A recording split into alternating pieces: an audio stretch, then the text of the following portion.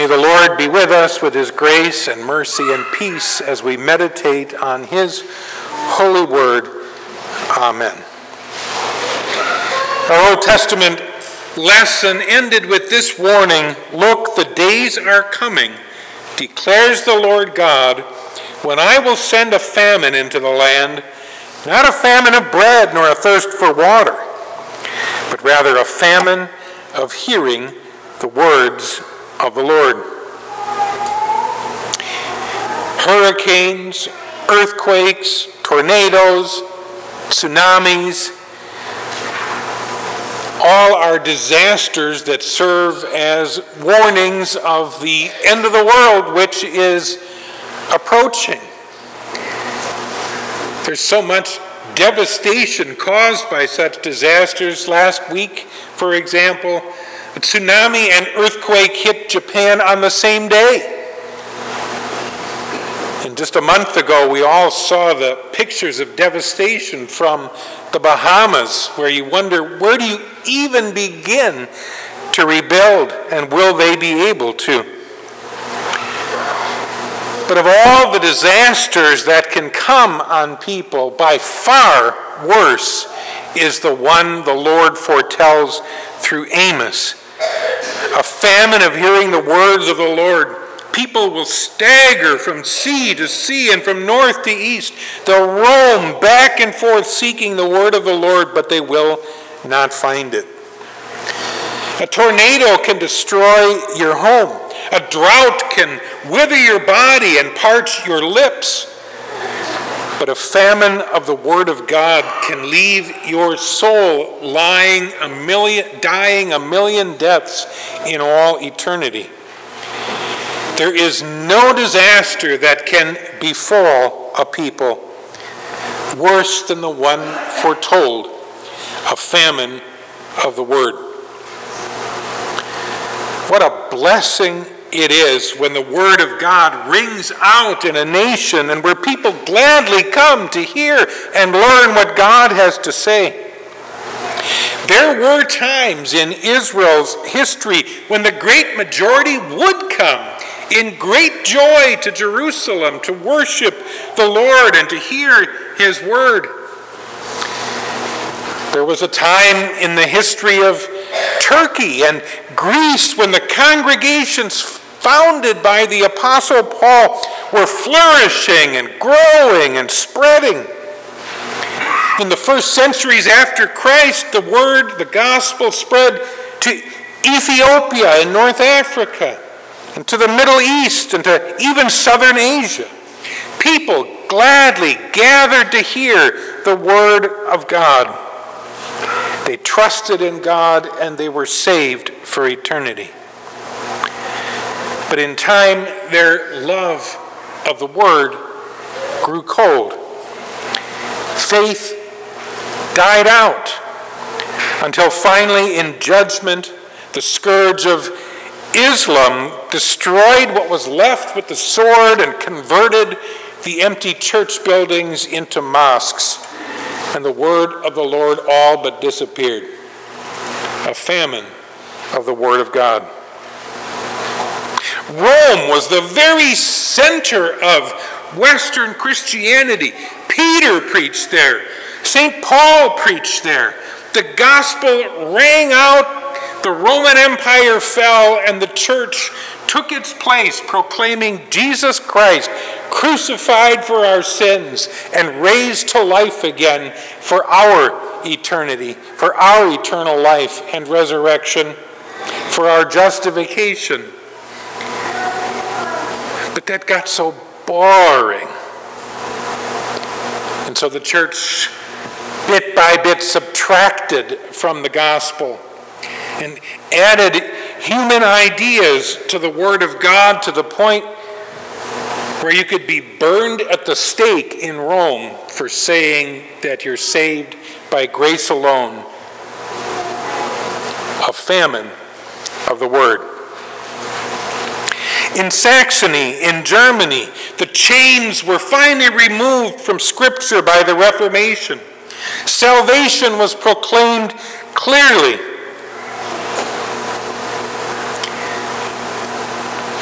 200 years still after the Reformation, there was standing room only in the churches in Leipzig when J.S. Bach used his artistic talent to proclaim the gospel in music.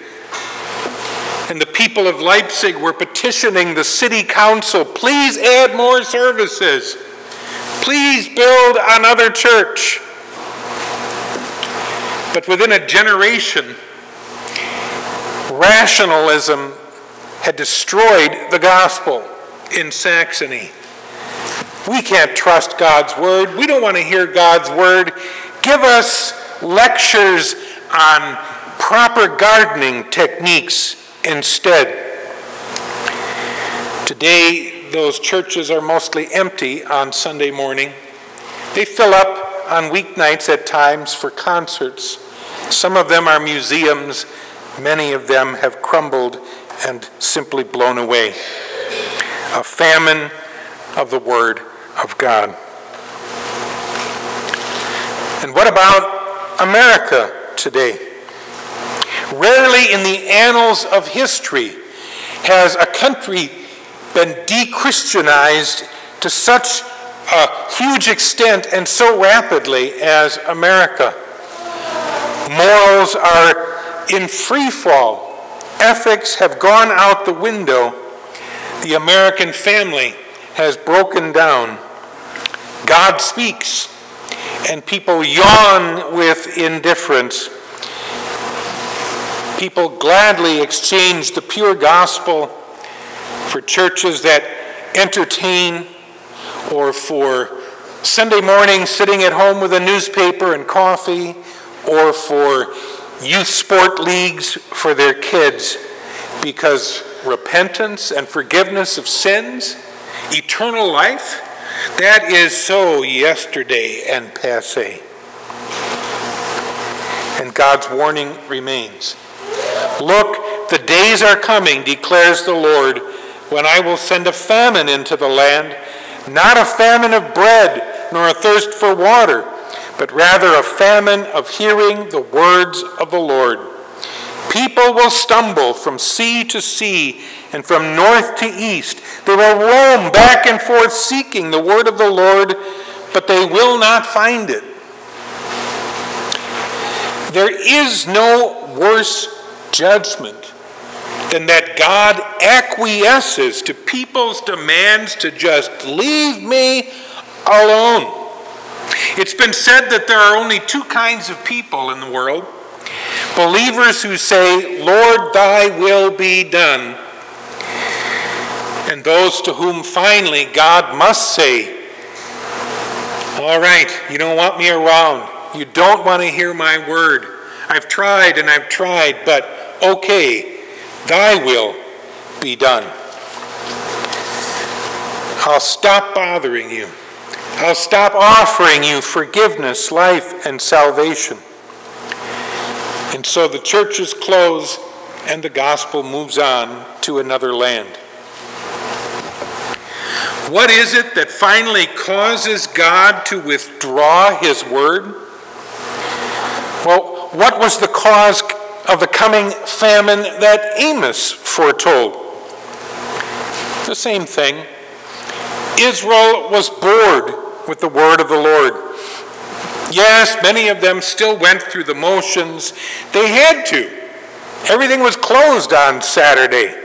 They had to, to show themselves to be outwardly pious people, so they went to synagogue, they went to the temple, they went through the motions the whole time looking at their sundials and saying, When is this going to end? I can't wait to get back to the market and sell stuff and make money.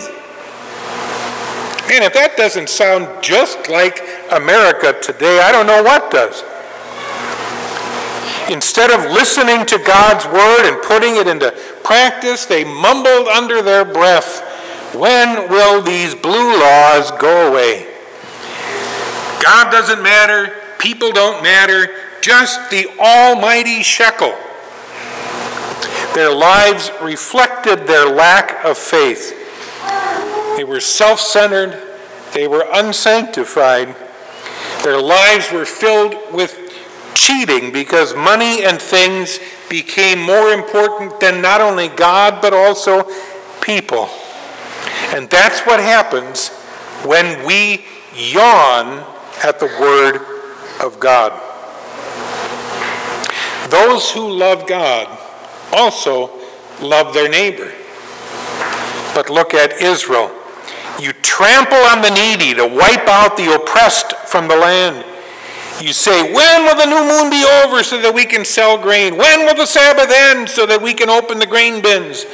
Then we'll make the bushel smaller and make the shekel weight heavier. We will cheat with dishonest scales. We'll buy the poor for silver and the needy for a pair of sandals. We'll sell the chaff with the grain. Where the gospel is more and more ignored, pure materialism takes over. Where Christ is no longer known, people no longer see Christ in their neighbor. Israel was actually quite prosperous in Amos's day. At least the rich were getting richer, looking after themselves and their needs. That was their top priority. Their golden calf, their idol. God and their poor neighbor? Whatever. Well, we're pretty prosperous too, aren't we? In fact, we live in a level of comfort unknown at any time in the history of the world and far greater than almost every nation today. How could it not be that we Christians also would be sorely tempted every day to be caught up in this earthly materialism ourselves? We're all pretty good at noticing that problem in others. Yeah, there are some people out there that cheat. I'm glad I'm not one of them. But it's harder for us to look into our own hearts and say, is God really number one in my life? Do I show it by how I act as a manager or a steward of the things that God has given me? We need to ask ourselves those questions. Remember that story that Jesus told of the rich man and Lazarus? You can probably imagine how that rich man thought as he saw Lazarus way, way, way down the sidewalk at the end there begging for crumbs. Whatever. He's probably in that circumstance because of something he did wrong. He probably doesn't work as hard as me, says the guy whose hardest work is lifting up the drumstick to his mouth at the big table. Remember what happened to that rich guy when he died? Then he wasn't too comfortable anymore. Then he found out what a real famine is like as he longed for one single drop of water to be put on the tip of his tongue in hell. So take note of the causes of the famine of the word outlined by the prophet. Going through the motions, false and hypocritical worship, rather than listening to the Word of God and applying it to their lives. People were chomping at the bit, looking at their sundials, wondering when it all would end so that they could get back to unbridled materialism. That's the cause. And the effect? Because of this, the land will shake, and everyone living in it will mourn. The whole land will rise up like the Nile, it will surge and sink down again like the Nile of Egypt. On that day, I will make the sun set at noon, and I will bring darkness on the earth when it should be light. I will turn your festivals into mourning and your songs into a lamentation. Before Amos finished speaking, there was a solar eclipse that hid the sun at noon. And two years after Amos predicted it, the land shook massively with an earthquake. It rose and fell like the Nile. God sent these events to confirm Amos as a true prophet But more than that, God uses these things. He uses disasters, He uses earthquakes, He uses even eclipses to give us a glimpse of what will come on a massive scale on the great day of the Lord.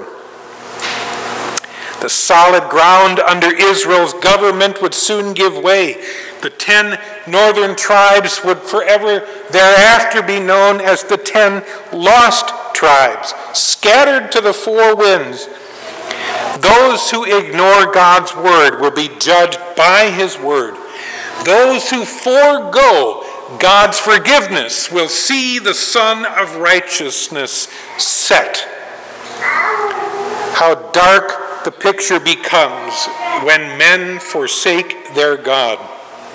Those who tell God, get lost, eventually get their wish. The days are coming, declares the Lord, when I will send a famine into the land, not a famine of bread nor a thirst for water, but rather a famine of hearing the words of the Lord. The famine came. Famine is still spreading today. Those small oases in the desert where one can find the water of life are drying up. In WELS, they keep saying at the current trend that it's going to go from 1,300 congregations to 300 in the next 40 years unless something changes. The oases with the living water are drying up one by one. By God's grace, His grace is still proclaimed among us in its truth and purity, now 90 years on.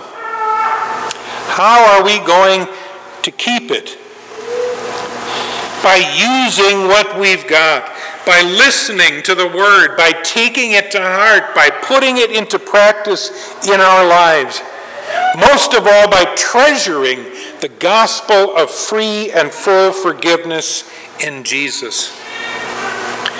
It's a tragedy of unspeakable proportions when someone grows bored with the message of forgiveness in Jesus' blood.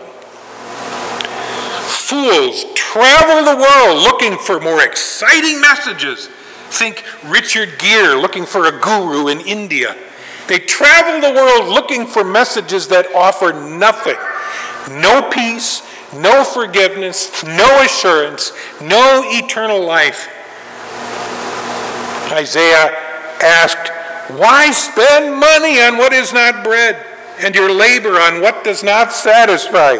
Listen, listen to me, and eat what is good, and your soul will delight in the richest of fare. Amos offered frightening warnings, true warnings, warnings that must be heeded. Yet Amos also offered hope and mercy for those who still believed and longed for the salvation promised in the Messiah. The Lord inspired Amos to end his book with this promise I will restore David's fallen tent. I will repair its broken places. I will restore its ruins and build it as it used to be, so that they may possess the remnant of Edom and all the nations that bear my name, declares the Lord, who will do these things.